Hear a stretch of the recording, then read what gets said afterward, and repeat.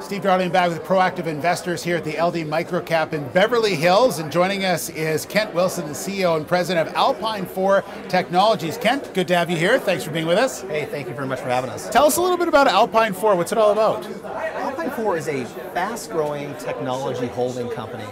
We are out um, acquiring businesses in three different segments. Uh, those segments are drivers, stabilizers, and facilitators. Okay. And to give you a little bit of concept of what a driver is, Yeah. a driver is much like our uh, company called Altia.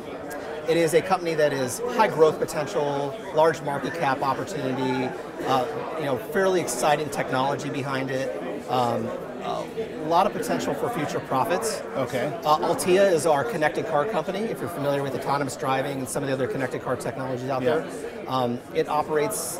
It resides in about a nine billion dollar market, Wow. and we think we'll grab one to two percent of that over the next 48 months. That's incredible. So uh, we have a one-to-many sales model with that company. Uh, we sell to auto dealerships who in turn sell our product as an aftermarket product. Right. Um, so it's an exciting company, um, rapidly growing, and uh, we're poised to take that company uh, very far. And facilitator's the last one. Tell us about that part. Well, sta- let's talk about stabilizers real quick. Yeah. Stabilizers are your typical bread and butter company. Uh, a lot of private equity groups would buy them. You know, sticky customers, been around a long time, consistent net profits, and those are really important when you have a driver company that's relatively new. Okay. And so uh, that's that model, and that provides steady profits. So you're getting a best of breed of both worlds. Right. And then facilitators are that synergistic glue that binds it all together. And meaning by meaning that is our connected car company Altia currently produces a product that we have produced in Shenzhen. Okay. By the time you ship it over to Shenzhen, bring it back, beta test it, ship it over for production, bring it back, deploy it, that takes about 12 months. We're able, because we own our uh, quality circuit assembly, which is a facilitator, has its own uh, client base, does about 12 million a year in revenue.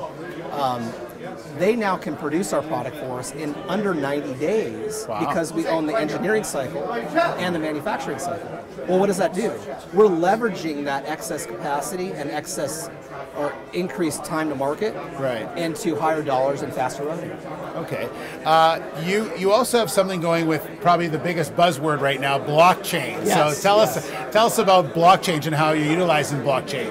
Well, I realized very early on if you want to manage something, you got to be able to measure it. And if you want to measure it, you got to be able to define it. Yeah. And so we defined what we wanted to measure, but there really wasn't a solution out there. So we created our own internal enterprise business operating system. Okay. And really what that is, and we've coined that term, but it's an ERP, much like a SAP or an Oracle. Um, it's tied to a very intuitive business intelligence platform. Okay. And it's also a DMS uh, uh, platform, so Right. document management system. And then it's all combined into uh, tethered with a collaboration tool set, meaning so it disconjointed uh, people and resources wouldn't be talking to each other, say in SAP or Oracle. Yeah. Um, now they're collaborating in all one system through either chatting or messaging. Right. And so we've been able to increase um, efficiencies across the board. That system is called Spectrum EBOS, which is Spectrum Enterprise Business Operating. and it's led to some incredible growth numbers for the for the just this the first quarter alone. Yes, I mean, we're very excited about Alpine. Uh, Q1 was about a 38% growth over last year. Q2, which is, uh, we'll be doing uh, some announcements on that shortly, uh, that's looking to trend about 35% growth over Q1. So we're rapidly growing. We think uh, 2018 we should trend out at about 41 to 49 million in revenue. And um, 2019, you know, it could be ex- excess of 100 plus million.